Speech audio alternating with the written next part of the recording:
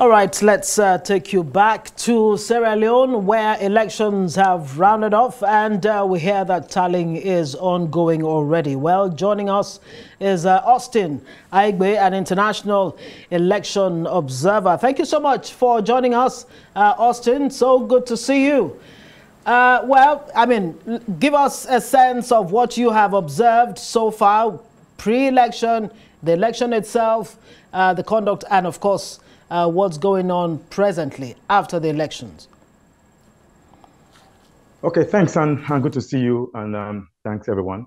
So the pre-election SECO, um, of course, before the June 24th elections, had a bit of issues. I mean, the opposition political party, uh, the APC, had raised a number of concerns, among others, including the they claim that the Electoral Commission hadn't given them the complete uh, voter register and a number of other issues that they were not comfortable with the application being proposed to use for the election. The, uh, the Electoral Commission has introduced an app where results can quickly move from voting station up to the National Collation Center, something that looked like an IRF or an IReV platform, but it's not going to be visible to, I mean, it's not going to be available to the public.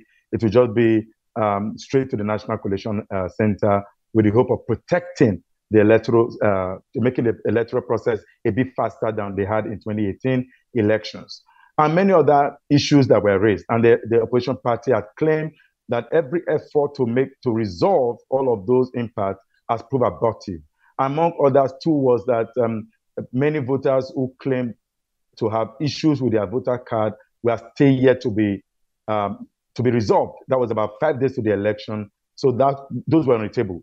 And following that concern, there was a peace deal, a peace meeting that took place, and the, the Electoral Commission did respond to the opposition political party, the APC, trying to resolve all of those questions and uh, uh, issues that were brought to the table. Among others, uh, the issue of voter register, the commission had said that there, there were reasons why the complete details of the voter cannot be released because some of the details on the voter register will serve as code to be able to, for voters to vote without a card. So in this country, you can actually vote without a voter's card, provided you are a registered voter. You are a registered voter. What you do is to go to the polling unit on the on election day with another identifier, another uh, no recognized ID card. You go to the polling unit, show the ID card that your face is actually the one on the ID card, and it bears your name. So that way, they, they will interrogate the voter asking certain questions that what's your name? I mean, what where's what's your address? What's your mother's name? What what's your date of birth? And so those are like codes. And the commission is saying if they release those, the possibility are that people may end up going to engage in, in, in duplication, which may sabotage the electoral process. Again, all of those were resolved, and now we are down to post-election. As as un, maybe unusual with the country where by now there should have been some form of eruption of violence post-election, but till date, till now, everywhere look calm. But because of the possibility that there could be violence, there's really the tension is down as we speak. Okay, right. thank, thank you, Austin. Uh, now, uh, well, this is the fifth uh, election uh, since the country had its civil war in 2002, Austin and they're right in the middle of uh, unemployment and high inflation. Bill seems to be getting the lead over Kamara. If he gets to win, uh, it looks like he already has his job cut out for him. What would the citizens be looking out for in the first few days uh, after his victory if he does win? So there was election in 2012, there was election in 2018, this is this is 2023 election. This is not the first time after the civil war. Just so quickly, maybe I didn't hear you clearly.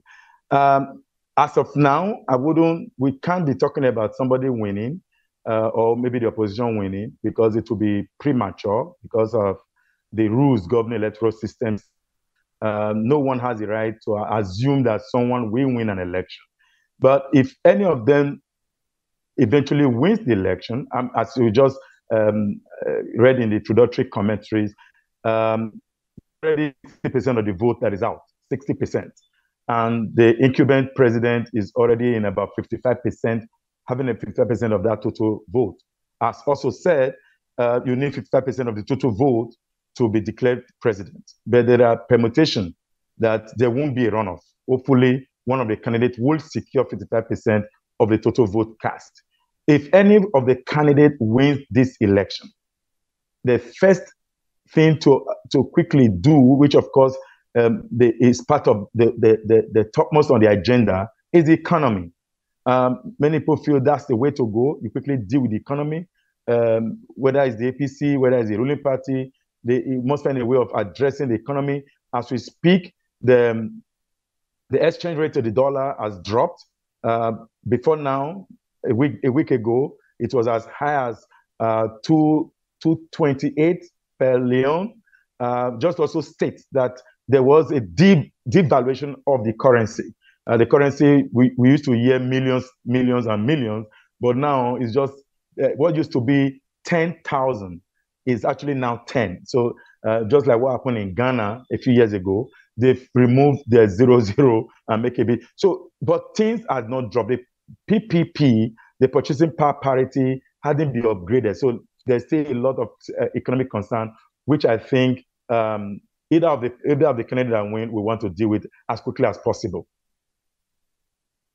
We'll let you go. W would you say, from your observation, that uh, democracy is deepening in uh, Sierra Leone? I mean, having heard uh, from the president say, let, let, me quote what the president, uh, Mohamed uh, Konneh, uh, actually, no, that's the electoral umpire, of course, said yesterday we had a SAFOL election, meaning, of course, a peaceful, relaxed election. Is that a deepening of democracy in Sierra Leone. And could you say the same uh, for the West Africa sub-region? Yes, democracy, people have also argued that we must find a way of doing our own local democracy, uh, lococracy or something like that. But we must look at our own cultural, traditional, and all put together. But what is unique about Sierra Leone is that they're, they're, what, they, what they classify as parliament is very inclusive. I'm sure you are aware that um, the election, I mean, before the election, there, there, was, there was a GEWE, a Act, the Gender Equality and Women Empowerment Act passed in 2022 December. That is inclusion. What is democracy? Democracy is inclusivity. So I think that democracy is deepening in, in Sierra Leone beyond the GEWE Act. There is a, the, the, the kind of representation. You have paramount chief, traditional institution represented in parliament. That is democracy. That is some form of localization of the democratic tenet. And I think that's very, very, very unique in their way of in their system. They're not just having people elected uh, who are more of civil authority, but the traditional institution are part of the democratic system. And it's interesting actually to note that there was vehicular, you know, movement, uh, you know, in spite of the elections. Uh, thank you so thank much. You, yes. Uh, yes, indeed. Austin Aigbe. Thank you very much.